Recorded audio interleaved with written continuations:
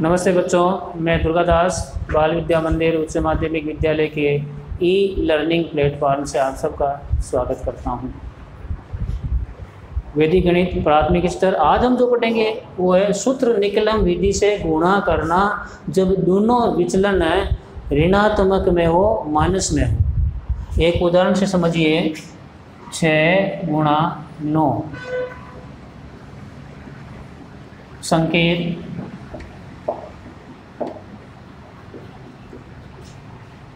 आधार दस। आधार बराबर दस। संख्या छ। संख्या छ का विचलन। संख्या छः का विचलन बराबर माइनस के चार। संख्या नौ का विचलन। बराबर माइनस का एक। यहाँ पर लिख लीजिए। माइनस चार और माइनस एक। दो इसके पक्ष बना लीजिए। दायां पक्ष और बायां पक्ष। दूसरा कदम क्या करना है? दूसरा चरण। विचलनों का गुणा। विचलनों का गुणा। चार माइनस एक बराबर चार हो। ये दाया पक्ष है, ये बाया पक्ष है। हो। दाएँ पक्ष में लिखेंगे। तो लिख लीजिए यहाँ पर, माइनस चार गुणा माइनस एक। इस तरफ़ पक्ष को, बाएँ पक्ष। बाएँ पक्ष में, बाएँ पक्ष में छः माइनस एक लिख दीजिए या नौ माइनस चार लिख दीजिए, दोनों का मान बराबर आएगा। छः माइनस एक, बाएँ पक्ष में छः माइनस एक बराबर पाँच लिखेंगे। छः माइनस एक बर छः माइनस एक लिख दीजिए। इसका मान पाँच, हम नीचे लिख देंगे लिख देंगे। इसको सरल करने पर आता है चार और इसको सरल करने पर आता है पाँच। इन दोनों संख्याओं में से तीसरी संख्या को हटाकर संख्या के पास में लिख लीजिए। अभिष्ट उत्तर बराबर चौवन है। यहाँ तक आपको अच्छी तरह समझ में आ गया होगा यहाँ पर छः से एक कम करेंगे, पाँच, नौ में चार कम करेंगे, पाँच। ये स्थिति यहाँ पर कोई सा भी मान लिख सकते हो। छः में से एक घटा दिया, पाँच, और इनका जो गुणा है, माइनस और माइनस का गुणा प्लस में आता है। गुणा में निशान परिवर्तन समझ लीजिए। गुणन संक्रिया में चिन्ह परिवर्तन।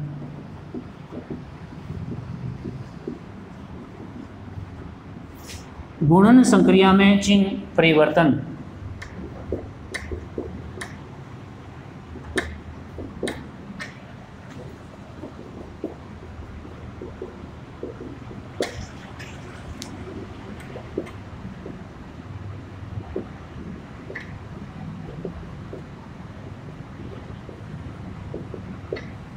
ये गुणन संक्रिया में चिन्ह परिवर्तन। मान लीजिए दोनों संख्या माइनस की है तो प्लस में उतर आएगा।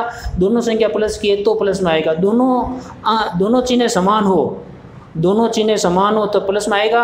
एक संख्या माइनस की है एक प्लस की है तब माइनस में आएगा। पहली प्लस की संख्या और दूसरी माइनस की है तो माइनस में आएगा। यानी यहाँ पर दोनों चिन्ह अलग अलग हैं। यहाँ पर दोनों चिन्ह अलग अलग होने पर माइनस में आएगा। यहाँ दोनों चिन्ह समान है। यहाँ दोनों चिन्ह समान हैं तो प्लस में आएगा। ये गुणन संक्रिया में चिन्ह परिवर्तन का नियम है। ये आप अपनी कॉपी में नोटबुक में लिखना है और एक ऐसा ही उदाहरण जिनमें विचलन ऋणात्मक हो, दस है या संख्या कम लेकर विचलन ऋणात्मक हो, उस संख्या को लिखकर आप अपनी कॉपी में सरल करना।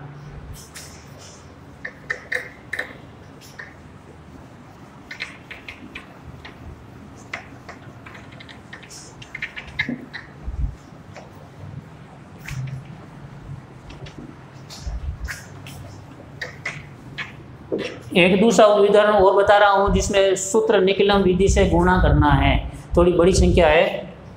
पंद्रह गुणा सत्रह। पंद्रह और सत्रह। संकेत।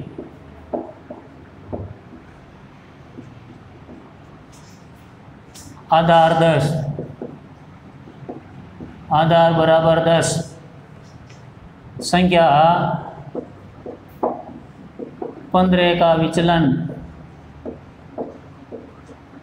बराबर प्लस के पाँच।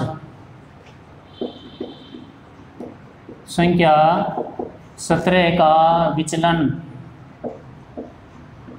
बराबर प्लस के साथ। यहाँ तक आप समझ में आगे हो गए, यहाँ पर विचलन लिख दीजिए इसका।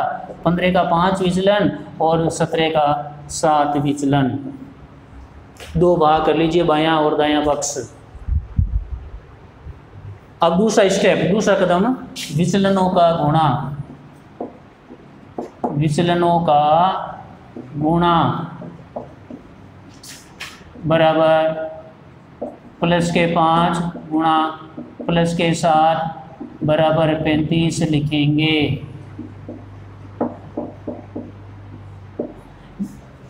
दाएँ पक्ष में पाँच गुणा प्लस के साथ। तीसरा तीसरा चरण, तीसरी प्रक्रिया। बाएँ पक्ष में, बाएँ पक्ष में। आप इन तिरक सरल कर ले, पंद्रह सात, बाईस, सत्रह पाँच, बाईस। दोनों का मान बराबर होगा। पंद्रह प्लस सात लिखेंगे। पंद्रह प्लस सात लिखेंगे। इस दाएँ, बाएँ पक्ष में पंद्रह प्लस सात लिख दीजिए। इनको सरल करने पर यहाँ पर आएँगे पैंतीस। दोनों संख्या प्लस के, इसलिए प्लस के पैंतीस आएँगे। और यहाँ पर संख्या आएगी बाईस। यहाँ तक बात आपको समझ में आ गई होगी। अब यहाँ पर ध्यान दीजिए, यहाँ पर संख्या हो गई पैंतीस, आधार दस। ये जो तीन संख्या है, वो बाईस में जुड़ेगी। आधार दस में एक शून्य होने के कारण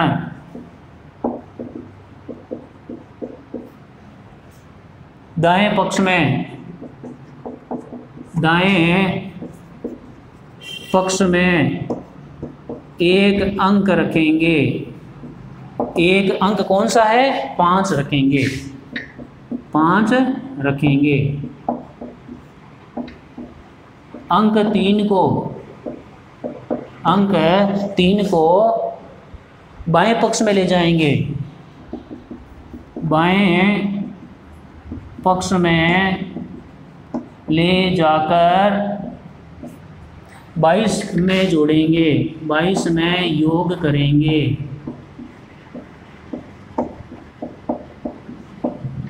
तो यहाँ पर ये संख्या इधर चली जाएगी, बाईस प्लस तीन और संख्या पाँच रह जाएगी। इस संख्या को जोड़ लीजिए पच्चीस और पाँच और तिरछी लाइन हटाकर संख्याओं को पास में लिख दीजिए। दो सौ पचपन। अभिष्ट उत्तर बराबर दो सौ पचपन। आप इसी संख्या के आसपास की संख्या लेकर इसी उदाहरण की तरह आप अपनी कॉपी में एक प्रश्न को सरल करना, इस सबको अपनी कॉपी में भी उतारना। आप घर पर रहें सुरक्षित रहें स्वस्थ रहें। धन्यवाद।